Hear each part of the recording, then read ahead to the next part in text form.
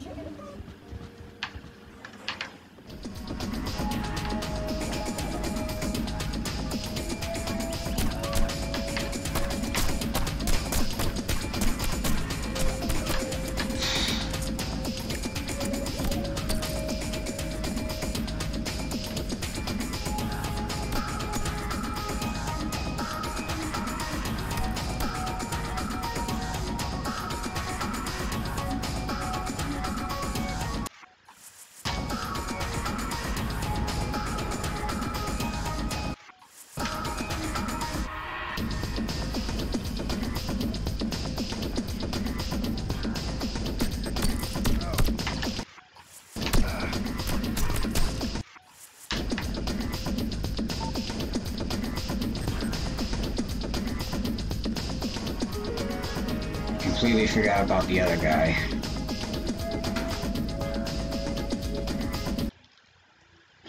Whatever. and I somehow still managed to tie my professional difficulty personal best. Somehow.